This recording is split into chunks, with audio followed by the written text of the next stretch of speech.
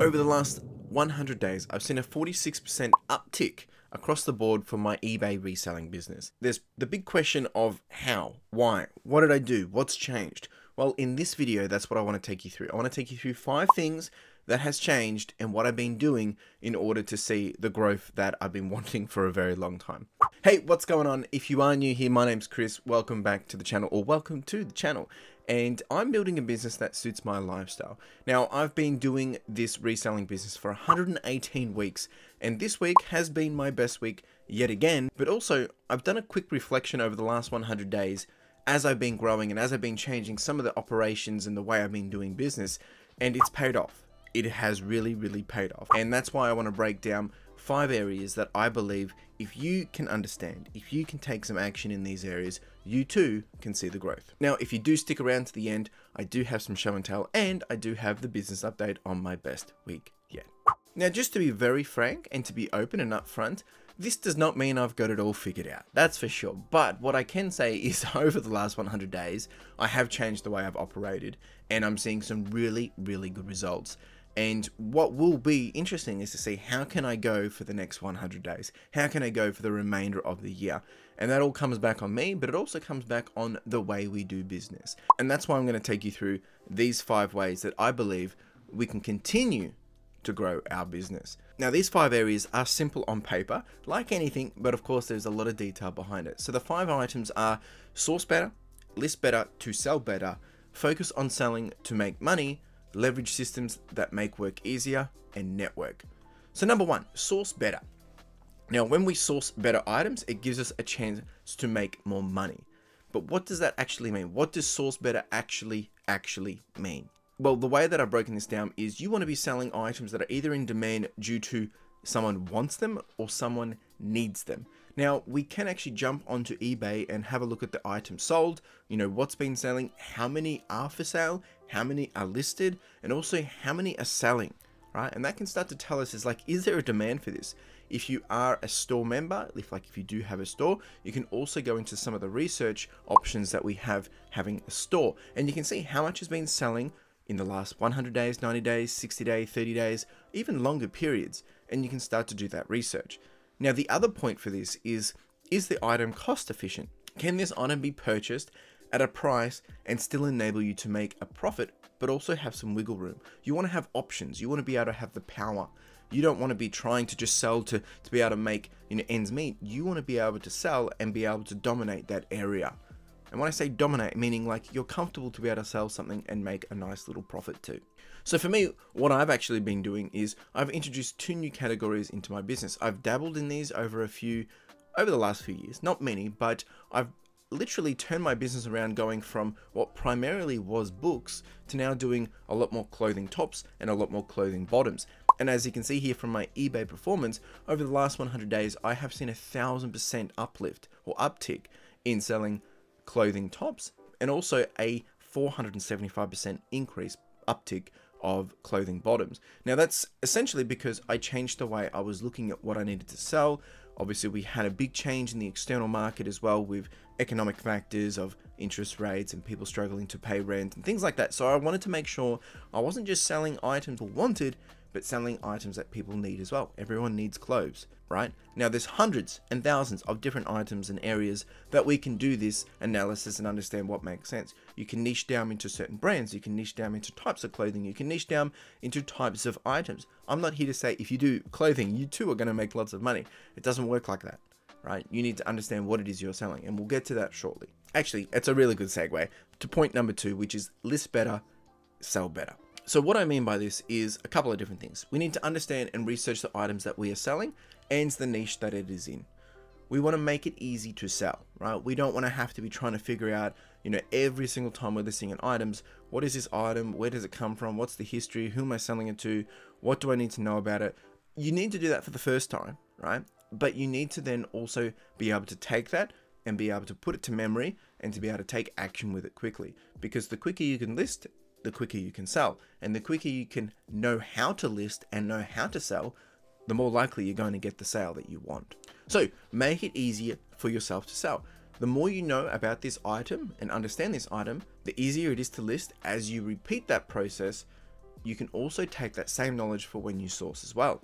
Because when you see what sells, why it sold, and all the data and information behind it, what I'm talking about is different styles, different, you know, item specifics, and understanding why that item sold, you can now understand why that item should be sourced for as well. So my key areas across this have really been across four little areas. Simply understand the product, understand the price, understand the person you're selling to, and understand how you're going to promote it. When we know what we are selling and we know what price we want to sell it for, you got to make sure you have profits covered. It makes it easy to sell.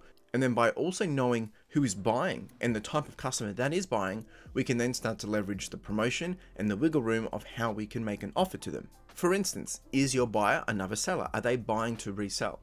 Or are they a collector? Will they pay top dollar but looking for a deal or a very specific item? And then the third type is are they an everyday consumer? Are they needing to meet their need? Are they wanting this because it meets their need? That need might not necessarily because they have to wear clothing on their back or because they really need that tool. It might be because they really want that tool that is really cool and, and has the right colors that suits their lifestyle, but also they have to fix something in their house. So there's a whole lot of different caveats and a whole lot of different understanding for that, but really it comes down to those categories. Maybe they're buying to sell, maybe they're buying to collect, or maybe they're buying as a consumer. Now, let's not forget the basics of selling as well. We want to have good photos in our listings. We want to have clear descriptions. We want to have very clear details and specifics, lots of specifics where where relevant. We also want to make sure we've got postage and that it's fair. And we want to have a returns policy if relevant and is fair and necessary. We also, we also, and this is a must, and you can check out this really good video uh, from my good friend Grogi Bear. Uh, go check it out about international shipping. If you're not using international shipping, you're missing out on a whole new world of opportunity and some really good ways to earn a few extra dollars. Now, my third point is focus on selling and make money. Now, this seems simple enough, and it seems, oh yeah, of course. But the reality is sometimes we don't really understand how to make money. And this is what you need to know when listing, you need to know what your lowest price is. You need to have an idea of how much are you selling this item for. You know, it's nice to have an idea like, oh yeah, this item's worth $70, but would you take $50? Like, understand that when you're listing the item, and it makes the process so much simple.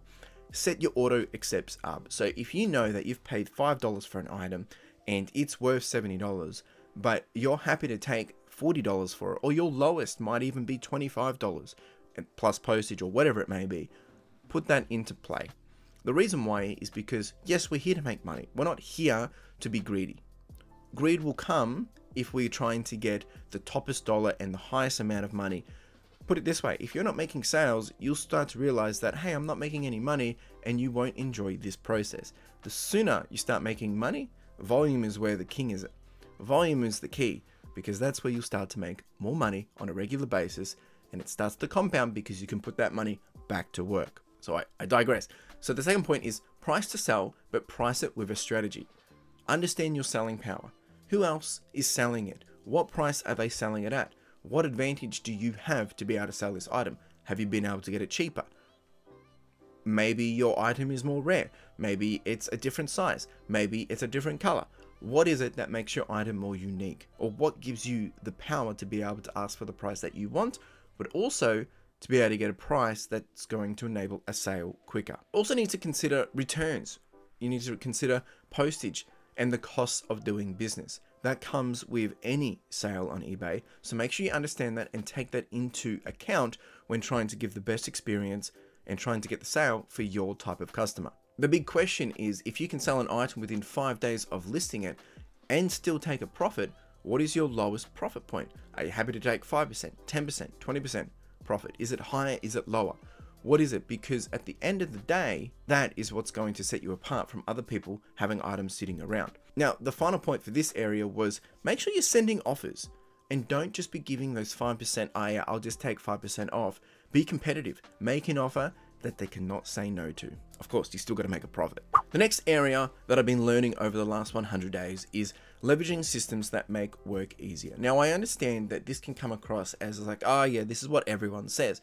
But the reality is there is some meat to this because it is so important because as you scale, as you grow, as you do more volume, the systems are the things that enable you to do that more effectively and more efficiently. So the first area is listing. When you're listing, have templates, have shortcuts, Build a process that works for you and works for the different items that you're selling. And understand how you can leverage this. For instance, there is options to be able to find someone else's item that's sold and sell similar to their item. Or you can find items that has sold in your shop and sell similar to that.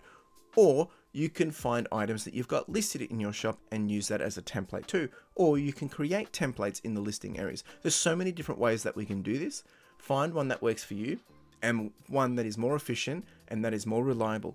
I would like to think if you know what you're doing, follow your own templates. Don't go follow other people's because it might not be what you think it is. Make sure you have a process for how you're doing your photos. How many photos do you want for certain items? Make this process as easy as possible. Don't just be thinking, oh yeah, that looks good enough, but understand what are the areas that you want to cover for the photos. If you're selling books, if you're selling DVDs, if you're selling clothes, if you're selling electronics, whatever it may be. And also have a process of how you're going to store these items, not just from a SKU system perspective. Yes, you need a SKU system because that's going to help you when you're picking your items to post, but how are you going to store these items and what is the most effective way? Now, I store a whole bunch of different items in my storage unit. I'm storing clothing, I'm storing books, I'm storing media, I'm storing toys, I'm storing so many different things. I have to have a process that works. Have a process for when you're picking and packing. How are you going to do this? What what order of events are you going to do? How are you going to be then putting your labels on? Think about this because if it works for 5 items, you want it to work for 50 items. And when you start, you know, picking and packing 10 items, that might take you, let's say it takes you 20 minutes, you start having 20, 30, 40, 50 items, things start to get very, very time sensitive. Now, the final area is networking. And this has been really key over the last 100 days for me because building connections inbound and outbound is going to change the way you do business how you will source. Find ways that you can have other people bring items to you. I'm not necessarily saying rock up to your door. I mean, that could be an option, doing wholesale options, but think about how can you have other people being eyeballs for you, sending you offers, sending you details, reaching out, giving you opportunity. Build that network because if they can work for you, it's time saved for you. And I'm not saying like find someone that will just do this full time for you. I'm just saying build those relationships. Tell people what you do. Tell people what you're looking for and tell them that you're willing to pay for it. The other thing is how will you sell? Find what will sell constantly and find ways to increase your cash flow and manage that sell through rate. So if you have people that you know will buy items off you and you don't have to do any work, but you're still making a profit, why would you sell it somewhere where you have to wait 90 days to get a sale when you could sell it so much cheaper, move it in volume, and everyone's happy. If you can make a profit, your person you're selling to can make a profit, and they're all moving it in the ways that make sense for them, think about that because there's so many more ways we can make money. It doesn't have to be just reselling online. You could do wholesale opportunities, you can do repair gigs, you can do refurbished gigs. There's so many ways that we can think about this, right? For instance, maybe you know how to repair laptops. Find ways you can get laptops for 5, 10, 15, 20 dollars, fix them up and then sell them for 80, 60, 100 $150. Find ways that you can get creative. At the same time, if you know someone that will repair laptops or electronics, find a way to pick these up for $5, $10, $15 and then sell them to them for $20, $30 or $40. And then they can go on and make some more money from them too. The key thing here is to connect, is to learn, and is to understand other people and what motivates them, what they're trying to achieve, and how you can do the same. At the end of the day, we're here to have a purpose of making a business because it's our livelihoods, but also we're here to make money. And that is the five areas that I've been learning over the last 100 days that has enabled my business to grow. And as I showed before, the progress and the uptick of seeing the results on eBay have been really, really rewarding. And this is just on eBay. I've been selling in a few different areas as well, offline of eBay, just to help keep that cash flow happening. And this has been a very scary process because I've had to take bigger risks. And that's probably a bonus tip that I would encourage you is be willing to take some risks and to try some new things, but do it at a smaller level. And what I mean by if you want to try a new area, don't go just go crazy and you know with not, not doing any research. Do some research. Do some research. All the information there is on eBay. All the information there is out there do some research, understand what category or what area you want to look into a bit more. Then you have to start to think, well, how can I do this on a consistent basis? How much is it going to cost me on a regular basis? And see if you can do that at a, you know, at a scale of 10 less. Meaning, how can I, if you wanted to do 100 items of these a month or 100 items of these a week, how can you do it at you know a lower scale of maybe 10 a month or 10 a week and just see if you can get that process right. That would be my bonus tip. All right, if you stuck around this long, let's dive into the progress update for my best week yet to date. So this week has been very, very interesting. Um, it started off really, really well. I was able to move some items to someone else, and then also I've had some roller coaster moments of some ups and downs. But all in all, we've had a very progressive week. As you can see here, been selling clothes, books, electronics, DVDs, media, jeans, video games, toys, and Lego. And clothes being the big win for the week of around $1,400 worth in revenue. So we've done a total of over $3,600, which is just just incredible. Really, really rewarding week. Now, in terms of the items that have actually been selling, I've got four top items. These aren't the toppest items. These are just four items I've selected that I think are pretty cool, and I want to take you through those. So the first item is this Forgotten Realms Double Diamond Triangle Saga. This is a four book set, and I picked these up from Savers probably last year. Actually, I paid $12.44 for these, and I've been able to sell them for $129.38, and I believe they went to Denmark, and after fees and postage, I walked away with $83.60. That international postage really helped here because I had these listed for 60, I was sending offers at 40, at 30 even. No one was accepting. Someone came through and paid full price. just crazy. This next item was this um, Microsoft Xbox console. Just just cool to see that these things still do sell, guys. So if you can pick them up for a nice price, I got this out of a big bulk lot and was able to pay about $11.43. That's the average cost of good. And I sold it for $120. That's posted and worked out to be about $76 back into my pocket after fees and postage. And then top item number three for this week, pretty cool, was this Bill Series 1 new and sealed, Region Zero, meaning I was able to send this anywhere in the world and they could play it. This one cost me $4.69 from a recent bulk lot that I got, a media lot. Uh, was able to sell it for $82.20, that's international, going to UK, and I've walked away with $52.10 after fees and postage. International postage for the win. And then another cool item for this week was this top robot, um, just vintage toy really. I picked this up from Vinnie's. I sold a few of these the other week as well. Uh, this one cost me about $3.89. Sold it for $62, that's posted as well, and walked away with $35.69 after fees and postage. As you can see here, these top items are not clothes. Even though I had been selling a lot of clothes this week, um, they were really just bread and butter of consistency. I did do a big bulk lot move of clothing as well um, to someone else, which yeah, really kept those dollars moving in, in terms of cash flow. But this week, really, it's actually been pretty good. I've seen a lot of collectibles start to jump back up again outside of the clothing area. So very interesting to see how the market's moving. Now, how do we actually progress for week 118? Well, we've done 97 sales, which has been really, really rewarding. That's a really big tick.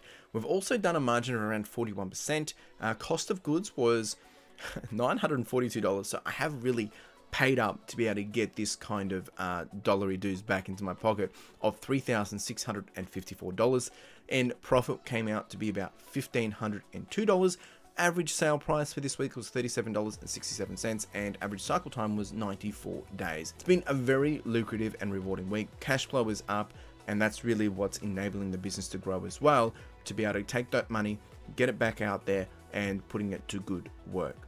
So there you go, that has been this week. If you have stuck around this long, let's dive into some show and tell.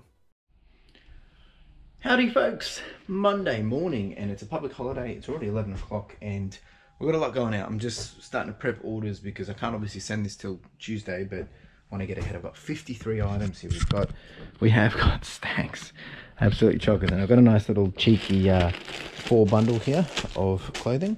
But the other cool bundle was this guy, a whole bunch of M&M figurines. That's gone for a $100. Um, but then we've got all the usual bread and butter stuff, guys. We've just got, all clothing. We've got jeans, we've got shirts, we've got Actually, I think that's all it is, jeans and shirts. Maybe some pants, um, some North Face fleece. I've got a few books going out here.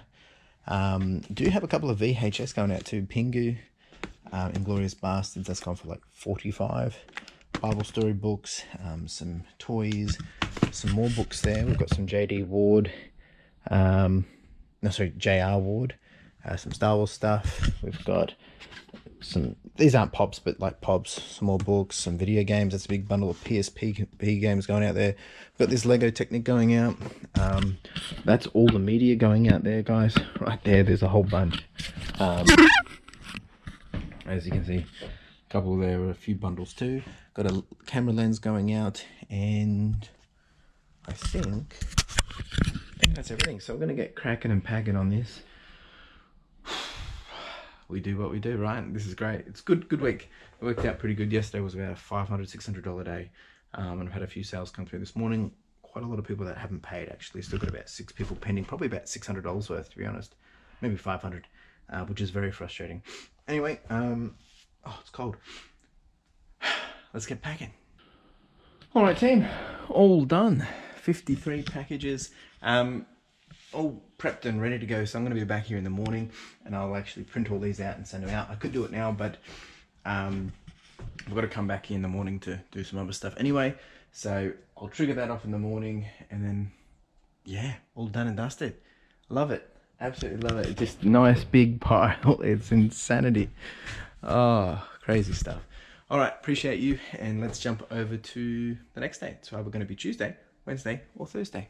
All right, team is back here. It is Tuesday morning and had a few more sales come through overnight. And we've got this one here. I just sold another one of those just the other week. Um, some Star Wars stuff going out with the Star Wars celebration um, convention currently on. Star Wars stuff is going well. William Blake, National Geographic book, I think it was. National, not National Geographic, National Gallery book. Um, couple of more movies and some Bible stuff, which goes really well around Easter. Um, got to get all this out. I've also got a couple of pairs of jeans and shirts going out as well. Um, I've got a quick little cheeky Salvos run at 9am and then I've got to go pick up a, a big deal and then I'm meeting someone else to do another deal um, and then I'm going to finish up all this. So it's all happening this morning, guys. Keep you updated. All right, team, we're back, and it's uh, Thursday. So I didn't really come here Wednesday. Actually, I didn't come here Wednesday at all. And last time on Tuesday, I said that I was going to do a deal and all this stuff. And this is how I kind of left everything when I left because it arrived and I had to do some other things. So I just got it all out flat laid it and um, I've got stuff everywhere at the moment and I've just got a whole bunch more that's just rocked up some from new stock some from that's been processed at home and things like that so and also from my worker as well so lots of things happening at the same time. So here we've got lots of um, just winter clothes really. Um, jackets and fleece and things like that. We've got a few more things here that I picked up the other day which I forgot to take home. Um, so I'm going to shuffle all this and then uh, we're here to pack pick I think 27 items I think it is. Might be a little less than that. It's never a dull day guys. This is what it looks like when you're growing. Uh, there's about 90 items here I think there is so it, it, looks like a lot but 90 I mean if I'm doing 20 a day that moves pretty quick in terms of getting up listed so it is what it is all right I'm gonna pack all this put them into bags I gotta take them home um, I'll process all these at home uh, just because of the space and uh, then once they've all gone through my worker as well they come into these bags so not too bad. I'm going to move all this and then I'll take you through all the goodies that have been selling. Alright team, all packed up and now we're going to go through all the orders. We've got 26 orders. Um, interesting bunch of stuff actually. Let's, let's a look. So we've got, these are probably the best hitters. I mean these were $60 but they've actually gone international to, I think it's to Denmark, so that's pretty cool. And they paid like $36 postage. Some David Eddings, some uh, good old Ken Duncan. We've got a Chewy, he went out this morning a couple of um, PSP games. We've got an IP phone going out. That's the last one of the three I had. A couple of, um, yeah, just movies, media, Blu-ray, da da da. Some more video games, some little Pokemon characters. Got Pokemon cards going out from last night's stream. A big shout out to John Francis, man. With another Crown Zenith ETB. We've got an Xbox going out with a couple of games, and then all the clothing here, guys. Lots of uh, North Face and uh, some long sleeves. And I think there's a pair of jeans in there too, and an AFL jacket. So easy amount, but still very comfortable. I've just hit 35,000 total as well for 90 days, so very happy with that. And that's not including the stuff that I'm selling um, off eBay, such as wholesale stuff and things like that. So pretty good, pretty good. Um, let's pack it up let me know if you do have any questions, comments, thoughts. Um, again, I say all these things of what's been working for me because they've been working for me. If you too have some ways of that you've been able to scale your business, grow your business, do let me know in the comments below. The other thing that I want to call out is, of course, I have to keep showing up. I have to keep doing the work. I have to keep taking action and I have to keep learning ways to pivot and adjust and find better ways of doing business. Because at the end of the day, if we get complacent, that's all we will get. We will get the same comfort that we're sitting at. So if I want to continue to grow over the next 100 days, am I going to have to keep doing exactly the same that I'm doing? Or do I need to, again, continue to change, pivot, and adjust and make sure that I'm refining these processes and ways of working to do a better outcome? Appreciate you being here. You have a wonderful day. Cheers.